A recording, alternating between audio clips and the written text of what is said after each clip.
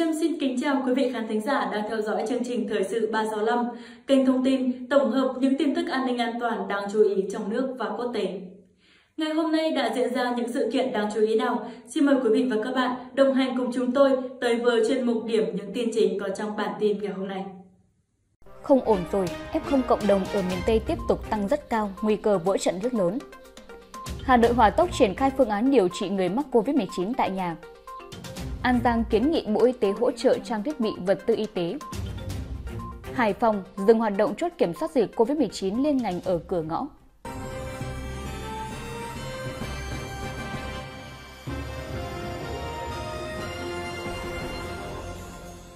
Không ổn rồi, F0 cộng đồng ở miền Tây tiếp tục tăng rất cao, nguy cơ vỡ trận rất lớn. Thưa quý vị, tình hình dịch bệnh tại Việt Nam đến thời điểm này hết sức căng thẳng, đặc biệt là ở các tỉnh khu vực miền Tây ghi nhận hàng ngàn ca nhiễm mỗi ngày. Cụ thể, tại Cần Thơ ghi nhận 1.199 ca nhiễm SARS-CoV-2 mới, trong đó 340 xét nghiệm tại cơ sở y tế, 11 ca trong khu cách ly, 15 ca trong khu phong tỏa và 833 cách ly tại nhà. Số ca mắc COVID-19 ở Cần Thơ từ ngày 8 tháng 7 đến nay là 28.470 ca, đã điều trị khỏi 13.301 người.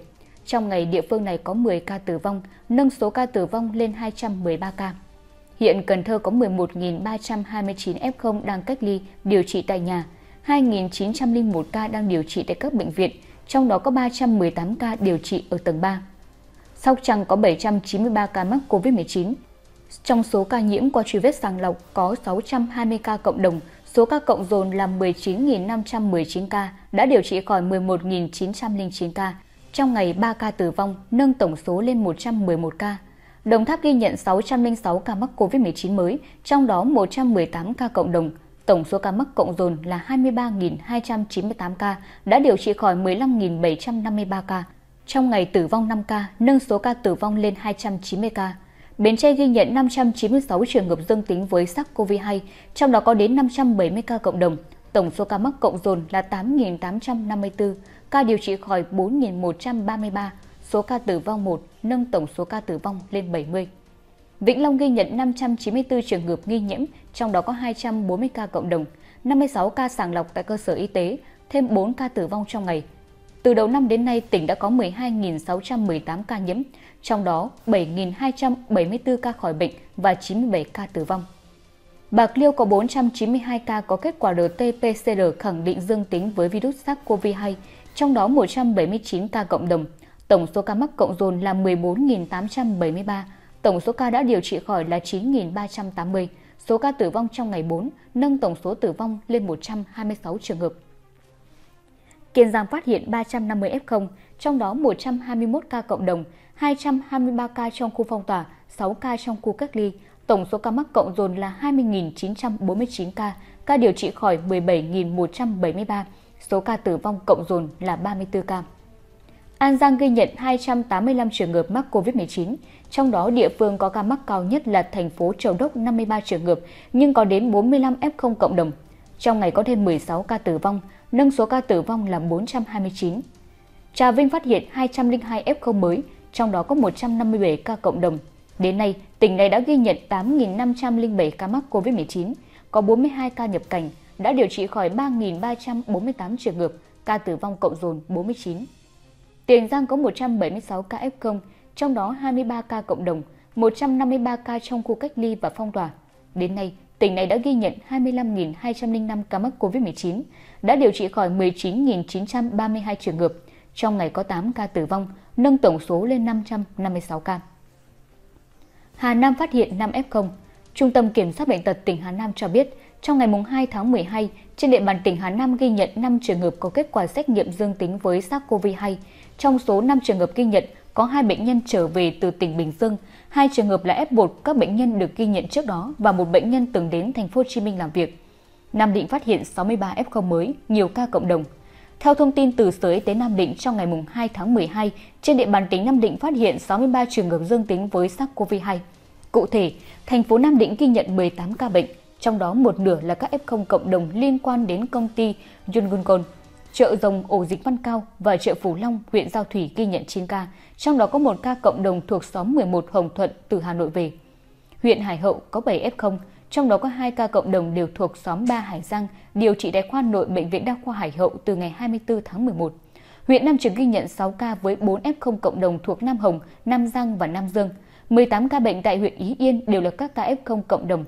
Số nhiều liên quan dự đám cưới tại đội 10 Đô Phan Yên Nghĩa.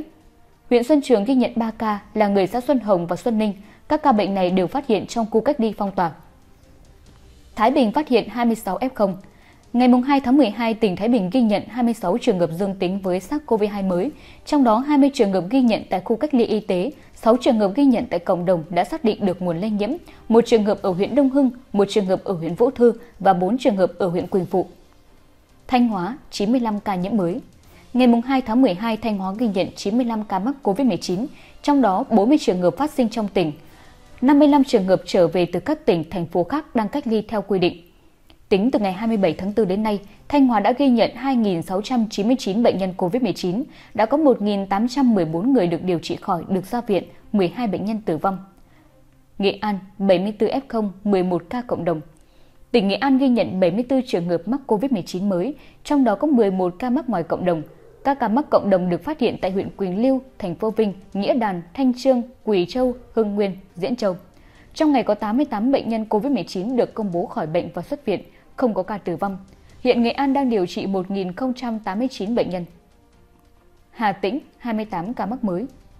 Ngày 2 tháng 12, Hà Tĩnh ghi nhận 28 ca mắc COVID-19, trong đó có 2 ca cộng đồng. Các trường hợp còn lại đã được cách ly.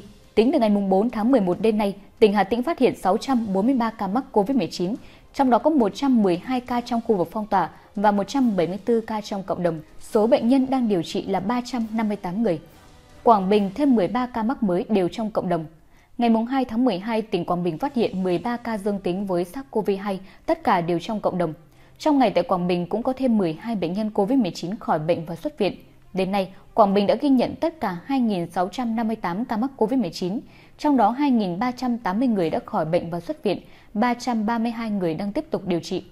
Về công tác tiêm vaccine phòng COVID-19, Quảng Bình đã triển khai tiêm được trên 835.000 mũi, trong đó có trên 299 người người đã tiêm đủ 2 mũi. Quảng Trị 15 ca mắc COVID-19 mới. Ngày 2 tháng 12, tỉnh Quảng Trị ghi nhận 15 trường hợp dương tính với SARS-CoV-2, trong đó có 6 trường hợp trong khu cách ly, 3 trường hợp giám sát y tế, 3 đối tượng cách ly tại nhà. Đến nay, tỉnh Quảng Trị ghi nhận 1.060 trường hợp mắc COVID-19, 332 người đang điều trị. Trong ngày, địa phương có thêm 23 trường hợp khỏi bệnh.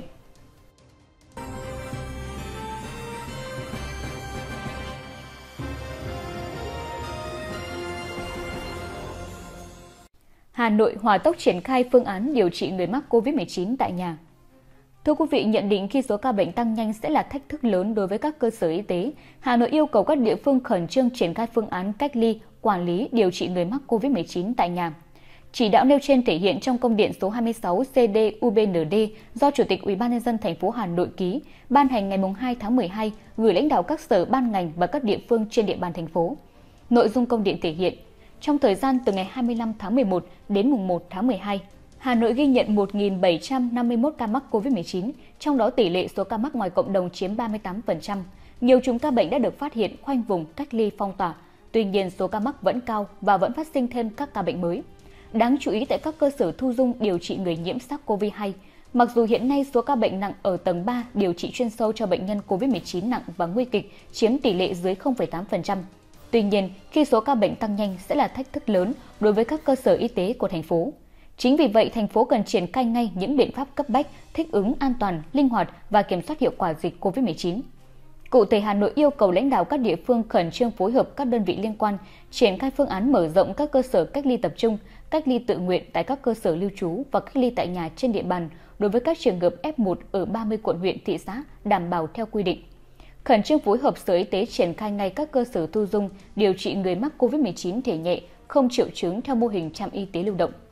Công điện nêu rõ, khẩn trương triển khai phương án cách ly, quản lý theo dõi khám và điều trị người mắc COVID-19 tại nhà theo kế hoạch của Ủy ban nhân dân thành phố. Đối với Sở Y tế, Ủy ban nhân dân thành phố Hà Nội yêu cầu tiếp tục chủ động bám sát diễn biến tình hình dịch bệnh trên địa bàn, khẩn trương chuẩn bị các phương án về vaccine, thuốc điều trị và các biện pháp phòng chống dịch phù hợp với biến chủng mới của virus SARS-CoV-2, đẩy nhanh tiến độ tiêm vaccine bảo đảm an toàn, khoa học, hiệu quả, tăng cường lực lượng vật tư, trang thiết bị y tế cho các địa phương có diễn biến dịch phức tạp và chủ động triển khai các biện pháp phù hợp điều trị sớm các trường hợp nhiễm mới để hạn chế thấp nhất các trường hợp truyền bệnh nặng và tử vong.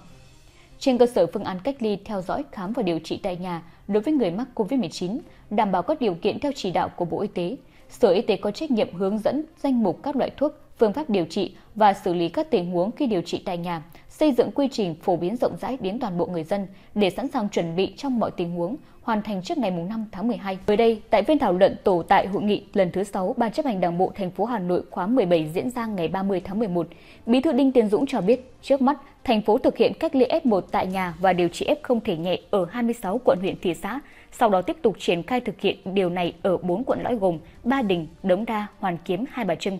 Tuy nhiên, theo người đứng đầu thành phố, yêu cầu điều trị F0 tại nhà quan trọng nhất là kiểm soát chặt chẽ các tiêu chí, điều kiện chỉ khi đáp ứng mới được thực hiện. Hà Nội đã và đang nới lỏng dần theo xu thế chung của cả nước, nhưng mục tiêu là phải kiểm soát được tình hình.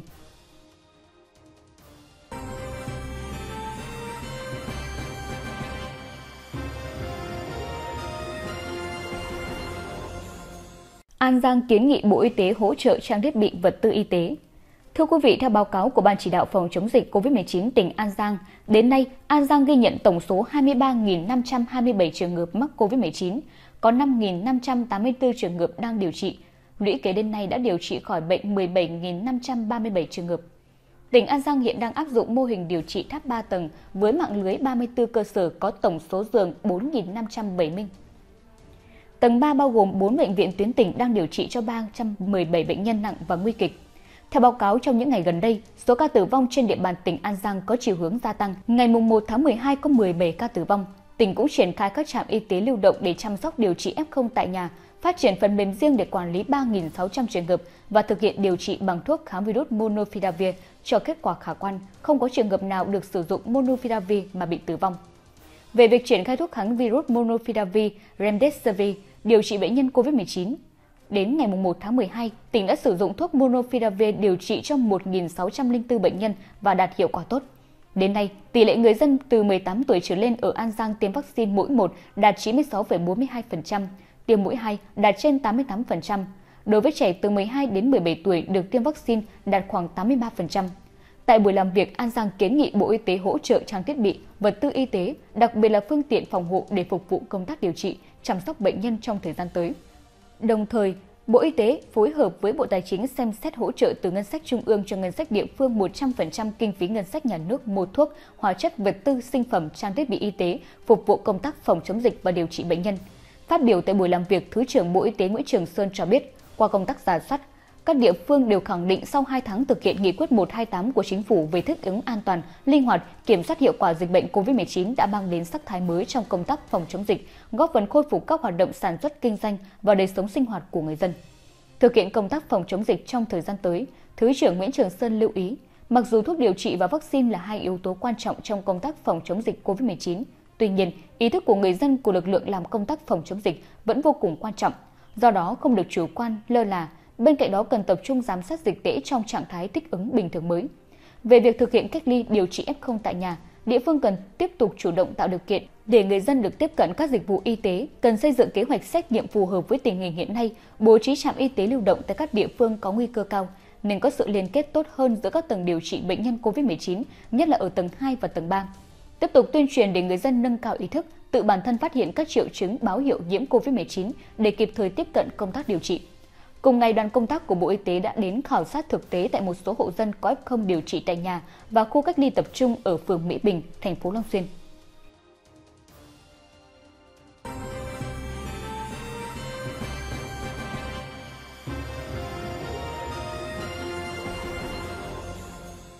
Hải Phòng dừng hoạt động chốt kiểm soát dịch COVID-19 liên ngành ở cửa ngõ Thưa quý vị, ngày 2 tháng 12, Ủy ban nhân dân thành phố Hải Phòng đã ban hành văn bản về việc dừng hoạt động các chốt kiểm soát dịch bệnh COVID-19 liên ngành thành phố tại các cửa ngõ ra vào thành phố kể từ 0 giờ ngày 3 tháng 12.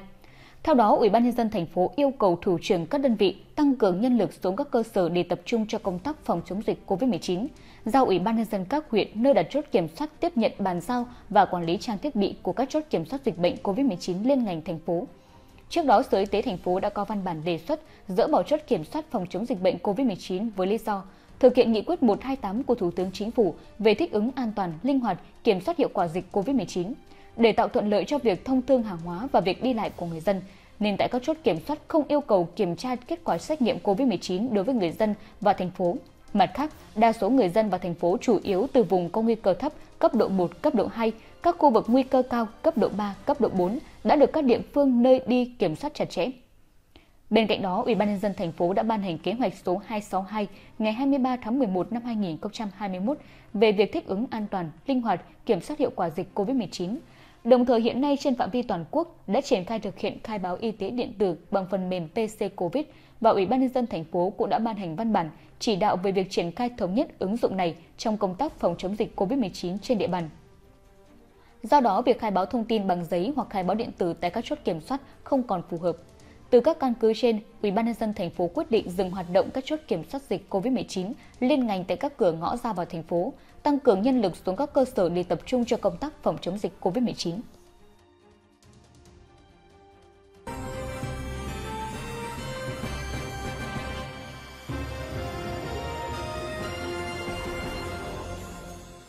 Thành phố Huế yêu cầu một xã trả lại dân tiền thu mua kit test tầm soát COVID-19.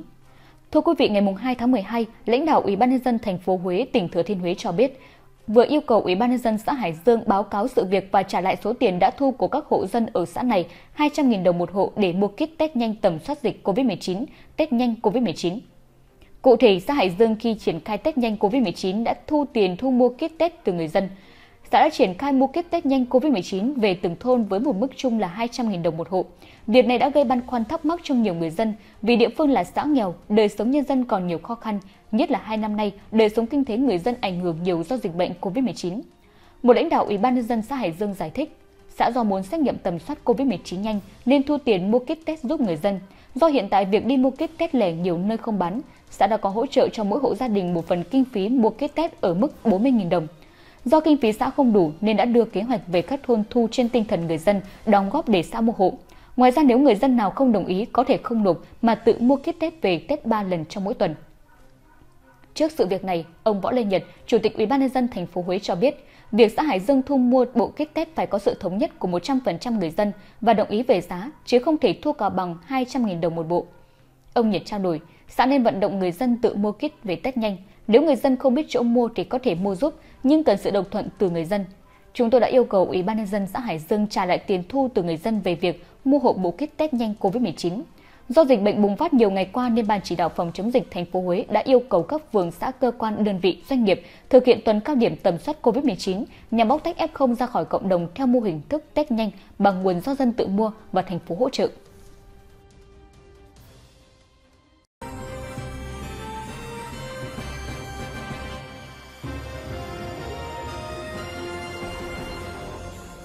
Kịch bản tốt nhất và xấu nhất khi thế giới đối mặt siêu biến chủng Omicron.